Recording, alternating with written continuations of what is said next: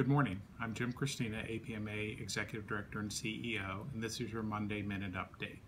I'm very pleased to report that we've made a lot of progress on the APMA registry.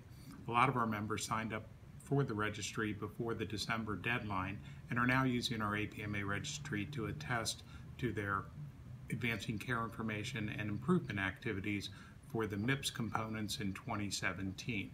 We're happy to announce that the registry is once again open for members to sign up. Simply go to www.apma.org backslash registry and you'll find an instruction manual there with specific instructions on how you sign up for the registry.